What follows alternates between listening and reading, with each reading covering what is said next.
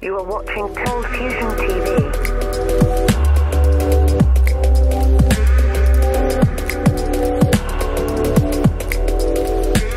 Hi, welcome to another Cold Fusion video. So it's clear that high-end mobile phones are slowly becoming more expensive over the years, but why? In this video, we'll take a look at some possible reasons of why. On this channel, we've already covered the fascinating stories of the very first mobile phone in 1983 and the first smartphone released in 1994. In these videos, we saw that the prices were $9,200 and $1,800 respectively. So what we're witnessing right now isn't the first time that smartphones have been really expensive. After the 1990s, however, mobile phones did fall in price around the world as we enjoyed accessible mobile communication.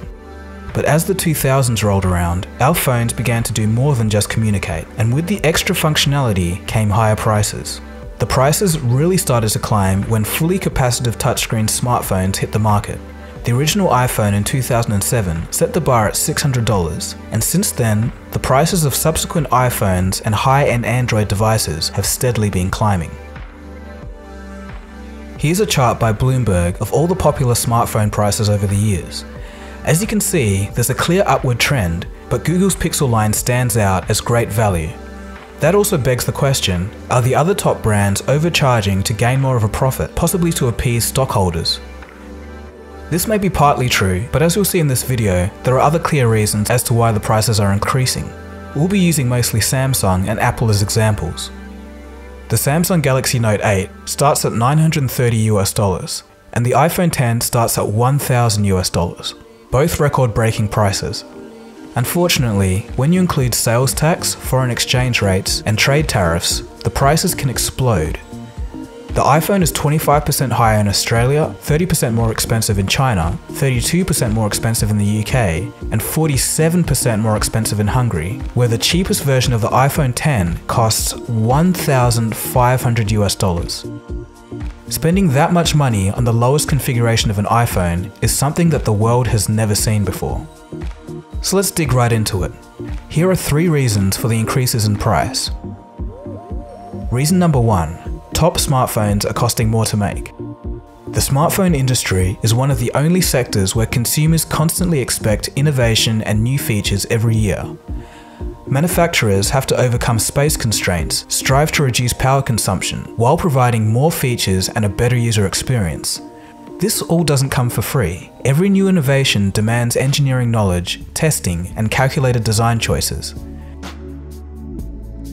A simple measure of the raw cost of a phone is its bill of materials, basically a list of the components and their prices used to create the device. Here's a chart by Android Authority showing the bill of materials for the Galaxy S series over the years. As you can see, there's an upward trend. If we look at the sales prices of the Galaxy S series, it's the same deal. There's an upward trend in both of them. But in 2017, something interesting did happen. The S8 was the most expensive phone to make by far, it costed an estimated 307 US dollars to make, $43 higher than the S7 and $36 higher than the S7 Edge.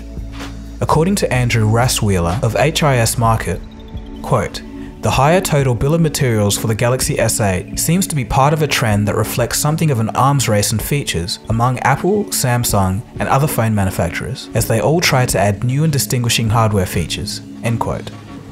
So in essence, the weapons of this arms race are the phone components, and the battle is for your wallet. The bill of materials for the iPhone 10 is said to be $412, also by far the most expensive. To get the total cost of manufacturing the phones, you need to add in research and development needed for testing new features, advertising costs, manufacturing costs, administrative costs, and a push to outdo their competitor, all within a 1 to 2 year product's life cycle. Taking this into consideration, it becomes easy to see how prices can begin to creep up. Reason number two smartphones are becoming more capable. It's obvious that phones are getting more powerful. Today's top smartphones, in some respect, have as much grunt as a laptop from just a few years ago. In fact, the Qualcomm Snapdragon 835 chip, which is used in most high-end smartphones by Samsung, HTC, LG, Sony, and Nokia, is so powerful that it's now being used in full Windows 10 PCs, a field normally dominated by Intel and AMD. Asus, Lenovo, and HP have all signed up to use the new mobile chip in their computers. This machine is running Windows 10 on a Qualcomm Snapdragon processor. You can see this is running 64-bit Windows 10 Enterprise Edition with 4GB of RAM. I'll pull up the Task Manager so you can see the full power of the Qualcomm Snapdragon processor with its four cores in action. This is Adobe's Photoshop, running great on a Qualcomm processor. We made zero changes to the app. It runs perfectly. I'll select a radial blur filter on the NinjaCat just to show you that this is real Photoshop with all the functionality you would expect. Another tough performance test on any PC is playing a game. Here we have the popular Windows 10 game, World of Tanks Blitz. As you can see, it runs great, super smooth. This is pretty remarkable to see, as it shows that the convergence between the PC and mobile computing is getting closer than ever before, something that I did talk about in some of my earliest videos. With these new powerful chips comes capabilities for features such as augmented reality and virtual reality. All of this, as well as newer concepts like the iPhone's neural engine to help with recognizing speech and images, as well as dual camera setups to allow for more options during photos and videos, all are incentives for people to pay a higher price for their mobile device. These extra capabilities feed into the third reason. Reason number three, supply and demand. At the end of the day, it all comes down to supply and demand. As long as people are willing to pay high prices for mobile power and all of these new features, the manufacturers can sell them at these high prices. In addition, there are numerous studies that have revealed that psychological dependence on smartphones is quite widespread, and within that group, there's a segment of people that always want up to date technology. It's just part of their personality. Nobody actually has to upgrade their phones every one or two years, but millions of people do. Because of this reason, high prices can be sustained. But the question is, if manufacturers keep increasing the price, what is the threshold at which the customers say no? Brand perception also has a part to play on the demand side. If a person is fond of the Apple or Samsung brand, they're more likely to see the cost as worth it. It's not all bad though. There's a growing number of alternative options. Some of the mid-range phones really aren't that bad anymore. The Chinese brand Huawei, now the world's second largest smartphone manufacturer, can provide much cheaper alternatives. The same goes for Xiaomi, Google's Pixel lineup, and Oppo.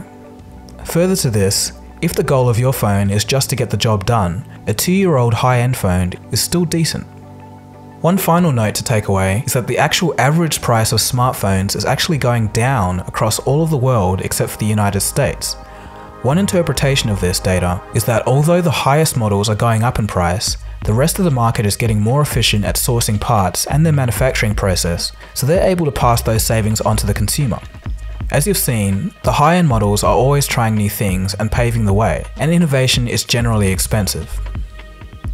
In conclusion, smartphones have definitely come a long way since 1994, and their capabilities have just exploded over the past decade. The cost of having the very best in mobile technology is going up, but when we demand so much from our devices, it's no surprise. So what do you guys think? Do you agree or disagree with the reasons listed in this video? What's the price threshold for you when it comes to buying a new phone? Anyway, that's it. I hope you enjoyed this video. Feel free to subscribe to this channel if you just stumbled across it. Also, I know that some of you have been asking if I have any merch for sale, and the answer is now yes, but it's only for a limited run. For the next 15 days, you'll be able to get your hands on some Cold Fusion clothing in a couple of designs. So if you want to help support the channel and get some CF threads, the links will be in the description below. This has been Dagogo, you've been watching Cold Fusion, and I'll catch you again soon for the next video. Cheers guys, have a good one. Cold Fusion. It's new thinking.